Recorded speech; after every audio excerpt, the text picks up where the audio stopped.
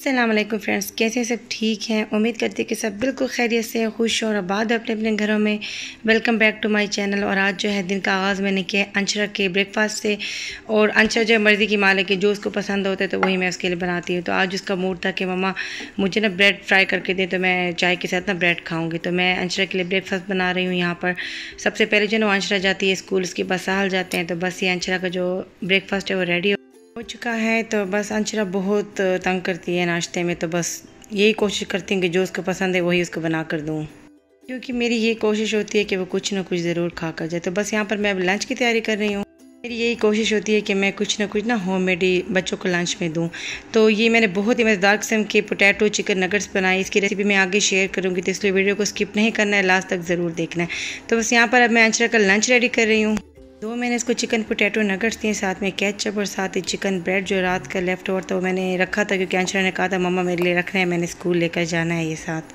बस हमने अपना जो है वो ब्रेकफास्ट कर लिया था। यहाँ पे अब मैं बना रही हूँ ताहिर के लिए लंच क्योंकि ताहिर की कैंटीन जो अभी तक ओपन नहीं हुई है, उनका जो है वो ऑफ़िस चेंज हुआ था तो कैंटीन में अभी कुछ ना काम हो रहा है उनका। तो बस मैं कुछ ना कुछ इस तरह लाइट से उनको बना कर दे देती हूँ कि सारा दिन जो है वो भूखे ना रहें।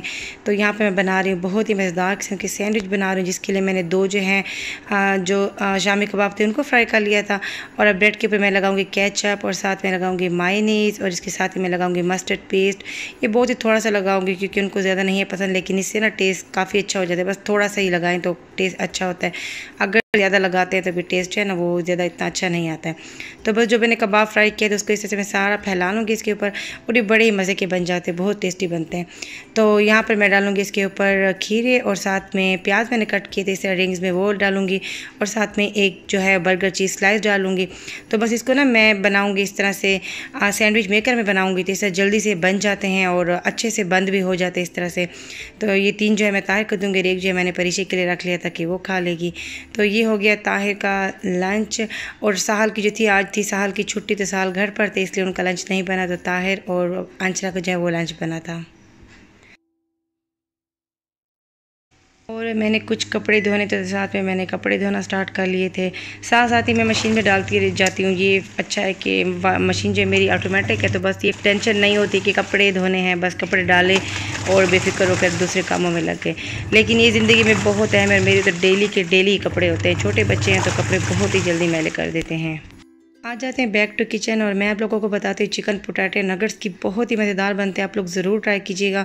मैंने यहाँ पर ले लिए एक फुल चिकन ब्रेस्ट साथ में मैंने अदरक और लहसुन का पेस्ट डाला वन वन टी इसके साथ ही मैंने थोड़ा सा नमक और थोड़ा सा ब्लैक पेपर मैंने बॉयल करने के लिए रख लिया था। साथ ही मैंने जो आलू लिए, इनको भी मैंने बॉयल करने के लिए रख दिया सिंपल से पानी में मैंने इनको बॉयल किया आलूओं को। क्वांटिटी में मैंने चिकन लिया था, उससे डबल क्वांटिटी में मैंने यहाँ पर आलू लिए। चिकन जब बॉईल हो गए तो उसको मैंने इस तरह से शेड कर लिया था, सारा हाथों से मैंने इसको इस तरह से कर लिया था। और साथ ही जो आलू बॉईल किए थे वो मैंने डाल लिए थे। और ये मैंने परिशे के लिए आलू छोड़े, उसको जो है इस तरह से थोड़े से बॉयल आलू जो अच्छे लगते हैं। बाकी परिशे बहुत चूज़ी है खाने में, मुझे बहुत तंग करती है। मेरी बेटियाँ दोनों ही मुझे बहुत तंग करती है खाने पीने में, बहुत ही ज़्यादा चूज़ी सी हैं। और बेटा नहीं था तंग करता, लेकिन बेटियाँ काफ़ी तंग करती हैं। तो इस तरह से आप इसको फार्क की हेल्प से या अगर आपके पास है कोई सा भी मैश आलू और चिकन को मैश कर लें। इसके साथ ही साल्ट और ब्लैक पेपर और इसके अंदर कुछ भी नहीं जाएगा जस्ट साल्ट और ब्लैक पेपर ही इसके अंदर जाएँगे। तो आप अपने बच्चों के स्पाइसेस के टेस्ट के मुताबिक इसके अंदर ऐड करें जितना उनको पसंद है उतना यहाँ पर ऐड करें। ये बहुत ही मज़े के बन जाते हैं और इसको ना मैं इस तरह से शेप दे दूँगी नगट्स की। आ, थोड़े से बड़े साइज़ में बनाए नगट से क्योंकि ताकि बच्चे का पेट फुल हो अगर लंच में वो खाते हैं दो दें तब भी उसका पेट जो है ना फुल हो जाए इसके ऊपर। मैं लाजमी साथ कुछ और भी दे देती हूँ, क्योंकि एक लंच ही है जो बच्चे मेरे और बच्चों को देख के थोड़ा शौक में खा लेते हैं। तो सारे मैंने बना, इस तरह से सारे बना ले अभी इसको मैं करूँगी कोटिंग इसके ऊपर। इसके ऊपर लगाऊँगी ब्रेड क्रम्स और साथ में एग तो पहले हम इसको करेंगे एग कोट उसके बाद हम करेंगे ब्रेड क्रम्स कोट और उसके बाद ना मैं इसको सारा इस तरह करके इसको मैं रख दूँगी फ्रीज़र में फ्रीज़ होने के लिए। आप लोग इसको ज़रूर ट्राई कीजिएगा। बच्चे बहुत ही पसंद करते हैं। मेरे बच्चों को तो ये बहुत ही ज़्यादा पसंद आते हैं। और होम मेड होते हैं साफ़ सुथरे होते हैं। इंसान के दिल को तसली होती है। बच्चा जो है घर की चीज़ खा रहा है तो मुझे तो बहुत ही खुशी होती है इस बात से। ये फ्रीज हो गए थे, मैंने इनको इस तरह से पैक्स में बंद कर लिया था और आप आराम से इनको ना तकरीबन twenty two twenty five days तक फ्रीज़र में रख के यूज़ कर सकते हैं।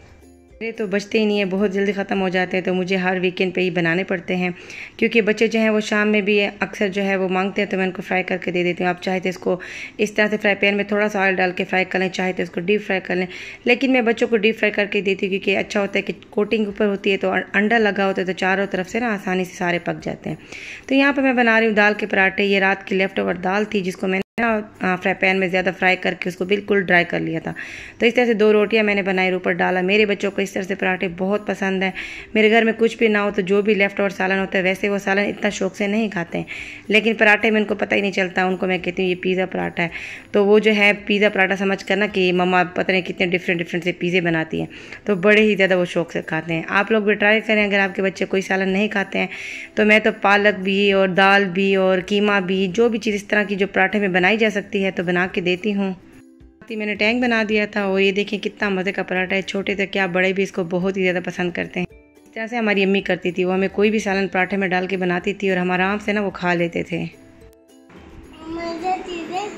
ये क्या आप बताओ क्या है? नहीं सोफिया। हम्म। ये? है एल्सा। फ्रोज़न है एल्सा। हम्म। और ये एल्सा। हम्म। मज़े का है? मज़े का आंसर नहीं, आप ये वाला पियोगे। नहीं, बर्फ़ तो नहीं पीनी बच्चों ने। गला ख़राब हो जाता है। हम्म। थैंक यू फरीशे my sweetheart thank you चलो करो नाश्ता करो। ओ सॉरी लंच करो। आपका भी है ना ये रहा। ठंडा हो जाए थोड़ा सा गर्म है अभी। परीक्षे को आजकल ना कैमरे में आने का बहुत ही शौक होता है। वो कहते किसी से भी ना पूछे मैं बताऊँगी कि चीज़ अच्छी बनी है या नहीं अच्छी बनी है। और हार्ड भी मैं दूँगी और बार बार बस ये कहती है कि आप ना मुझे दिखाएँ मुझे दिखाएँ कि मैं बातें करूँगी ना सारे कैमरे में। तो बस अभी भी मेरे साथ यही लगी हुई थी कि मुझे दिखाएँ। और मौसम की भी साथ में अपडेट दे दूँ, कल बहुत बारिश हुई है इस्लामाबाद में, बहुत ही अच्छा मौसम हो गया है। उससे पहले ना काफ़ी ज़्यादा गर्मी हो रही थी, लेकिन शुक्र है अल्लाह ताला का कि बारान रहमत बरसी। अल्लाह करे कि हर जगह पर बारिश हो और मौसम जैसी तरह से अच्छा हो जाए। मेरा तो आज मूड बिल्कुल भी कुछ बनाने का नहीं था, लेकिन इतने अच्छे मौसम में ऐसे कैसे हो सकता था कि मैं कुछ बनाए बगाए रह सकूँ? तो बस अचानक से मेरा प्लान बना कि मैं बनाती हूँ, आज बिरयानी बनाती हूँ। तो बस चिकन ख़त्म था तो मैंने सोचा कि बीफ की बना लेती यहाँ पे मैंने वन थर्ड कप तक ऑयल लिया है। इसके साथ ही मैंने तकरीबन तीन दरमियाने साइज़ के प्याज ऐड कर लिए उनको फ्राई करने के लिए रख दिया है। इसके साथ ही मैंने पानी लिया इसमें सारे जितने खड़े मसाले जाते थे लौंग हो गया काली मिर्च बड़ी इलायची दार चीनी दा आ, कड़ी पत्ता सारा मैंने डाला। साथ में टू टेबल स्पून ऑयल और वन टेबल स्पून सिरका मैंने ऐड किया। और साथ ही मैंने इसके अंदर हसब ज़रूरत नमक ऐड किया। और जब पानी में बॉयल आ जाएगा तो इसके अंदर मैं चावल ऐड करूँगी। इसके साथ ही मैंने इस तरह चिप्स कटिंग में आलू भी ऐड कर लिए ये मेरे बच्चों को बहुत पसंद है तो मैं उनके लिए लाजमी डालती हूँ। तो यहाँ पर जैसे ही प्याज फ्राई हुआ, साथ ही मैंने अदरक और लहसुन का पेस्ट ऐड कर लिया, वन वन टेबल स्पून तक। और इसके साथ ही तकरीबन हाफ़ के जी तक मैंने लिया था बीफ, वो मैंने ऐड कर लिया, क्योंकि चावल मैं बहुत ही थोड़ी सी बना रही थी, इतने कि बस हम एक ही टाइम में ना ख़त्म कर लें सारे। तो यहाँ पर ये मैंने हाफ़ के जी से थोड़ा सा ज़्यादा था, यहाँ पर मैंने बीफ ऐड किया। तो उसको मैंने हल्का सा इस तरह से फ्राई किया, साथ ही मैंने तीन अदर टमाटर ऐड कर लिया और थ्री टेबल स्पून तक इसके अंदर ना मैंने बिरयानी मसाला ऐड किया। जो कि थोड़ा सा ज़्यादा हो गया था थोड़ी सी स्पाइसी बन गई थी। साथ ही मैंने साल्ट हो गया, ज़ीरा पाउडर धनिया पाउडर और कुटी हुई लाल मिर्च मैंने ऐड की। तो इसलिए भी थोड़ी स्पाइसी ज़्यादा हो गई थी कि स्पाइसेस जो थे ना वो थोड़े से मुझसे ज़्यादा हो गए थे। मतलब बड़ों को तो अच्छे लग रहे थे, लेकिन बच्चों के लिए मुझे थोड़े से ज़्यादा लग रहे थे। इसके साथ ही मैंने इसके अंदर अगर आपके पास लेमन जूस है फ्रेश तो वो ऐड करें, नहीं तो सिरका ऐड कर लें। और साथ ही मैंने एक कप तक इसके अंदर ऐड कर ली दही। तो बस इसको थोड़ा सा यहाँ पर मैं फ्राई करूँगी। इसके साथ ही मैं इसके अंदर ऐड करूँगी पानी और इसको ना हम लोग बंद कर लेंगे प्रेशर देंगे, क्योंकि बीफ है तो प्रेशर देना तो मस्ट है। तो यहाँ पर पानी में बॉयल आ गए थे तो मैंने चावल ऐड कर लिए इसके अंदर। चावल बॉयल हो चुके थे, तकरीबन 95 परसेंट मैंने इनको कुक किया था, बाकी 5 परसेंट जो है वो दम में बनेंगे यहाँ पे चावल। और बीफ भी अच्छे से कुक हो चुका था। यहाँ पर अगर कोई साबित वगैरह टमाटर, प्याज कुछ भी है तो आप इसको इस तरह से मैश कर लें। और थोड़ा सा सालन जो है ना, वो मैं नीचे जो है ना, देखचे में लाजमी रखती हूँ ताकि अगर जब मैं दम दूँ तो चावल जो है ना नीचे लगे ना। तो बस ये सारा ऑयल जो इसका अलग हो चुके अब यहाँ पर मैं एक लेयर लगाऊँगी चावलों की। और जो खड़े मसाले जाते हैं सारे जो है मैं निकाल लेती हूँ क्योंकि टेस्ट जो है ना इसका आ चुका होता है चावलों में। तो वैसे जब मुँह में आते हैं तो अच्छा नहीं लगता है। तो बस दो ही लेयर दूँगी मैं चावलों की और एक लेयर दूँगी मैं कौरमे की। क्योंकि चावल थोड़े थे तो इसलिए बस मैंने एक ही लेयर लगाई थी। तो बस सारा इस तरह से सालन ऊपर रख लेना है, आपने लगा लेना है।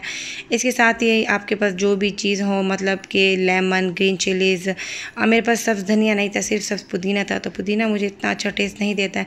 तो बस सिर्फ़ मैंने सब मिर्चें और जो लेमन था वो लगा ली थी और इसके साथ एक लेयर मैंने ऊपर चावलों की और लगाई। ऊपर डाला मैंने कलर कलर मुझसे थोड़ा सा ज़्यादा हो गया था। तो मुझे ना थोड़ी सी वाइट ज़्यादा अच्छी लगती है बिरयानी, लेकिन यहाँ पर मुझसे कलर थोड़ा ज़्यादा हो गया था। तो बस अब इसको मैं ये सारी चीज़ें लगा के दे दूँगी। मैं दम तकरीबन फ़िफ्टीन मिनट तक दूँगी। और ये देखिए दम के बाद की सूरत हाल बहुत ही मज़ेदार किस्म की और इस तरह के अच्छे मौसम में जो है बिरयानी बहुत ही मज़ा करती है। तो ये रेडी हो चुकी है। तो ये थी मज़ेदार किस्म की बिरयानी। तो यहाँ पर मैं आप लोगों के साथ अपनी प्लेट शेयर कर रही हूँ। बाकी मैंने सबको खाना बाद में दिया था।